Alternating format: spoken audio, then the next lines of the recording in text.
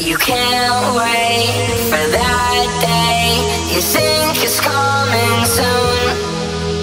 You're dead wrong. It won't stop. There's nothing.